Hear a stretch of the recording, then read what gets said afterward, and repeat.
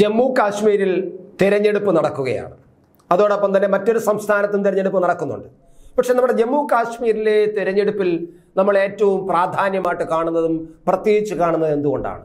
അതായത് article three seventeen റദ്ദ് ചെയ്തതിന് ശേഷം എടുത്തു കളഞ്ഞതിന് ശേഷം നടക്കുന്ന ആദ്യത്തെ തിരഞ്ഞെടുപ്പാണ്. അതുകൊണ്ട് തന്നെയാണ് നമ്മൾ ആ തിരഞ്ഞെടുപ്പിനെ വളരെ പ്രാധാന്യത്തോടെ രാജ്യം ഉറ്റുനോക്കുന്നത്. ആ ത്രീ സെവന്റീൻ എടുത്തു കളഞ്ഞിട്ട് അഞ്ച് വർഷം ആകുന്നു. അപ്പോഴേക്കും കാശ്മീരിൽ എന്തൊക്കെ മാറ്റം വന്നിരിക്കുന്നു? കാശ്മീരിലെ ജനാധിപത്യം വീണ്ടും തളി തളിരിടുമോ? ആ തീവ്രവാദികളുടെ ആ പഴയ ശക്തിയും പ്രതാപവും ഇപ്പോൾ ഇല്ലാതായിരിക്കുന്നു എന്നത് വ്യക്തം തന്നെയാണ്. അത് പണ്ട് നമ്മൾ എപ്പോഴും കേൾക്കുന്നത് കാശ്മീരിൽ കല്ലേറും അതിനെതിരെ പോലീസ് വെടിവെക്കുന്നു. വെടിവെക്കുന്നു പറഞ്ഞാൽ ഈ വെടിയുണ്ട അല്ലാത്ത ഇതുകൊണ്ട് വെടിവെക്കുന്നതും ഒക്കെ നമ്മൾ ദിവസവും വാർത്തകൾ കണ്ടത് പക്ഷെ ഇപ്പോൾ കാശ്മീരിൽ നിന്നും കല്ലേറ് നടക്കുന്നു എന്ന വാർത്തകൾ നമ്മൾ കാണുന്നില്ല. കഴിഞ്ഞ നാലഞ്ച് വർഷമായിട്ട് ഈ ത്രീ സെവന്റീൻ എടുത്ത് കളഞ്ഞതിന് ശേഷം അവിടെ ഒരു സമാധാനം വന്നിരിക്കുന്നു എന്ന് വ്യക്തം തന്നെയാണ്. അപ്പൊ അങ്ങനെ നോക്കുമ്പോൾ അതായത് ഒരു കണക്ക് വന്നാൽ രണ്ടായിരത്തി പത്തിൽ ഒരു കണക്കനുസരിച്ചിട്ട് രണ്ടായിരത്തി എഴുന്നൂറ്റി രണ്ടായിരത്തി എഴുന്നൂറ്റി തൊണ്ണൂറ്റി നാല് കല്ലേർ സംഭവങ്ങളാണ് രണ്ടായിരത്തി പത്തിൽ നടന്നതെന്നാണ് ഒരു കണക്ക്. ഇപ്പോൾ അങ്ങനെ ഒരു കല്ലേർ സംഭവം നടക്കുന്നില്ല എന്നാണ്. എന്തുകൊണ്ടാണ് ഈ കല്ലേർ സംഭവം നടക്കുന്നതെന്ന് പറഞ്ഞാൽ ഈ തീവ്രവാദികൾക്കെതിരെ പോലീസ് നടപടിയെടുക്കുമ്പോൾ പട്ടാളം നടപടിയെടുക്കുമ്പോൾ അവർ അവർ അതിൽ ചിലർ കൊല്ലപ്പെടുന്നുണ്ട്.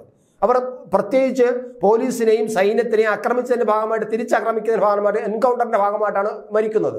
പക്ഷേ അവരെ എടുത്ത് ആ ബോഡിയെ എടുത്തിട്ട് ആ നാട്ടിൽ ഒരു വലിയ വിലാപയാത്ര നടത്തുന്നു ഘോഷയാത്ര നടത്തുന്നു പ്രതിഷേധ യാത്ര നടത്തുന്നു. ആ കൂട്ടത്തിൽ പോലീസിനും ആ പട്ടാളത്തിനും ഇതിനെ കല്ലെറിയുകയും ചെയ്യുന്ന ഒരു പ്രവണതയാണ് നമ്മൾ കണ്ടുകൊണ്ടിരുന്നത് ഈ കാശ്മീരിൽ. അതിന് അവിടെ ഉണ്ടായിരുന്ന ഭരണകക്ഷിയിൽ അന്ന് കുറെ കാലം ഭരിച്ച പി ഡി പി ഉൾപ്പെടെയുള്ള എല്ലാ പാർട്ടികളും അതിന് പിന്തുണ കോൺഗ്രസും ഏകദേശം അതിനോട് പിന്തുണ തന്നെയായിരുന്നു. അന്ന് മിണ്ടാതെ മാറിയുന്നു ഭയന്നു മാറിയുന്നു എന്ന് വേണമെങ്കിൽ പറയാം. അങ്ങനെയായിരുന്നു കാശ്മീരിന്റെ അവസ്ഥ. പക്ഷെ ഇപ്പോൾ മാറിയിരിക്കുന്നു. അവിടെ കൂടുതൽ വ്യവസായങ്ങൾ വരുന്നു. കൂടുതൽ വിദേശ അല്ല നമ്മുടെ ടൂറിസ്റ്റുകൾ അവിടെ വരുന്നു. ഒരു കാശ്മീർ എന്ന് പറഞ്ഞാൽ ലോകത്തിന്റെ സ്വർഗമാണ് എന്നാണ് നമ്മുടെ മുൻ പ്രധാനമന്ത്രി ജവഹർലാൽ നെഹ്റു പറഞ്ഞത്. ആ കാശ്മീര് പിന്നീട് സ്വർഗമല്ലാതെ നരകമായിട്ട് മാറി. അത് ഇപ്പോൾ വീണ്ടും തിരിച്ചു വന്നിരിക്കുന്നു എന്നതാണ് നമ്മൾ കാണുന്നത്. എന്തായാലും ആർട്ടിക്കിൾ ത്രീ സെവന്റീൻ എടുത്തു കഴിഞ്ഞതിന് ശേഷമുള്ള ഈ തെരഞ്ഞെടുപ്പ് ആരൊക്കെ ആര് ജയിക്കും ബി ജെ പി ജയിക്കുമോ ബി ജെ പി അവിടെ അധികാരത്തിൽ വരുമോ എന്നതൊക്കെ ഇപ്പോഴും സംശയം തന്നെയാണ്. നമ്മളെ എന്നെ സംബന്ധിച്ചിടത്തോളം ബി ജെ പി അത്രമാത്രം അവിടെ ഒരു ഭരണത്തിൽ വരാൻ സാധ്യത ഞാൻ കാണുന്നില്ല. പക്ഷേ അവിടെ നല്ല ഒരു ജനാധിപത്യ തിരഞ്ഞെടുപ്പ് നടത്താൻ കഴിയും. ഒരു അൻപത്തഞ്ചിനും അറുപതിനും അകത്തുള്ള പോളിംഗ് നടത്താൻ കഴിഞ്ഞു കഴിഞ്ഞാൽ പോളിംഗ് നടന്നു കഴിഞ്ഞാൽ ബി ജെ പിയുടെയും കേന്ദ്ര ഗവൺമെന്റിന്റെയും വിജയം തന്നെയാണ് കാശ്മീരിൽ നടന്നത് എന്ന് നമുക്ക് പറയാൻ കഴിയും.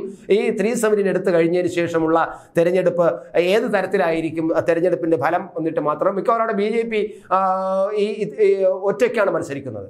അവിടുത്തെ പി ഡി പിയും ഒറ്റയ്ക്കാണ് മത്സരിക്കുന്നത്. എന്നാൽ നാഷണൽ കോൺഫറൻസും കോൺഗ്രസും കൂടി അലയൻസ് ആയിട്ടുണ്ട് ഇതുവരെയും. അവർ തമ്മിലുള്ള സീറ്റ് ധാരണ പോലും ആയിക്കഴിഞ്ഞു.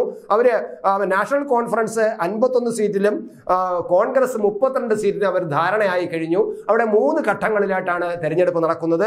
അതായത് സെപ്റ്റംബർ പതിനെട്ടിനും സെപ്റ്റംബർ ഇരുപത്തിയെട്ടിനും ഒക്ടോബർ ഒന്നിനുമായിട്ടാണ് അവിടെ തെരഞ്ഞെടുപ്പ് നടക്കുന്നത്. സെപ്റ്റംബർ പതിനെട്ടിന് ഇരുപത്തിനാല് മണ്ഡലങ്ങളിലും സെപ്റ്റംബർ ഇരുപത്തിയെട്ടിന് ഇരുപത്തിയാറ് മണ്ഡലങ്ങളിലും ഒക്ടോബർ ഒന്നിന് നാൽപ്പത് മണ്ഡലങ്ങളിലുമാണ് അവിടെ തെരഞ്ഞെടുപ്പ് നടക്കുന്നത്. അങ്ങനെ ഈ തെരഞ്ഞെടുപ്പ് നടക്കുമ്പോൾ ഈ മുന്നണികൾ ഇനിയിപ്പോൾ മിക്കവാറും ഇപ്പോൾ നാഷണൽ കോൺഫറൻസും അതുപോലെ കോൺഗ്രസും ചേർന്നിട്ടാണ് ഇവർ മുന്നണിയായിരിക്കുന്നത് ചിലപ്പോൾ ഇനി പി ഡി പിയും കൂടെ മുന്നണിയിൽ എത്താൻ സാധ്യതയുണ്ട്. ചിലപ്പോൾ തെരഞ്ഞെടുപ്പ് കഴിഞ്ഞിട്ടായിരിക്കാം റിസൾട്ട് വന്നിട്ടായിരിക്കാം പി ഡി പി അവരുടെ സ്ഥാനം ഉറപ്പിക്കാൻ വേണ്ടിയിട്ട് ഒരു ബാർഗെയിനിങ് ശക്തിയായിട്ട് മാറാൻ വേണ്ടിയിട്ടായിരിക്കാം ഒരുപക്ഷെ പി ഡി പി അവിടെ ഒറ്റയ്ക്ക് മത്സരിക്കുന്നത്. എന്തായാലും പി ഡി പി ഈ കോൺഗ്രസുമായിട്ടും നാഷണൽ കോൺഗ്രസുമായിട്ട് അലയൻസ് ഉണ്ടാക്കാനാണ് സാധ്യത. അപ്പോഴും ബി ജെ പിയുടെ ഒറ്റയ്ക്കാണ്. ബി ജെ പി ഒറ്റപ്പെടുത്തുക ബി ജെ പിയെ പരാജയപ്പെടുത്തുക എന്നതാണ് ലക്ഷ്യം. പക്ഷെ അവിടെ എനിക്ക് പറയാനുള്ളത് അവിടെ വീണ്ടും ഈ പറയുന്ന കക്ഷികൾ അധികാരത്തിൽ വരികയാണെങ്കിൽ ത്രീ സെവന്റീൻ തിരിച്ച് അവിടെ നടപ്പിലാക്കും. അവിടെ വീണ്ടും കൊണ്ടുവരും പുനഃസ്ഥാപിക്കും. അങ്ങനെ പുനഃസ്ഥാപിക്കുകയാണെങ്കിൽ വീണ്ടും കാശ്മീർ പഴയ കാശ്മീർ ആകുമെന്ന് തന്നെയാണ് കാണേണ്ടത്. എന്തായാലും നമുക്ക് ഉറ്റുനോക്കാം. കാശ്മീരിന്റെ ഭാവി എന്തായിരിക്കും എന്നുള്ളത്. പക്ഷെ ബി ജെ പിക്ക് ഒറ്റയ്ക്ക് അവിടെ ഭരണം നടത്താൻ കഴിയാ കഴിയുമോ എന്നതും നമ്മൾ നമ്മൾ അത്രമാത്രം ഉറപ്പിച്ച് പറയാൻ പറ്റാത്ത ഒരു അവസ്ഥയിലാണ്. പക്ഷേ അവിടെ ഒരു മാറി വന്ന ഒരു സാഹചര്യം എങ്ങനെയായിരിക്കും സംഭവിക്കാൻ പോകുന്നത് നമുക്ക് തിരഞ്ഞെടുപ്പ് കഴിയുമ്പോൾ മാത്രമേ വ്യക്തമാകൂ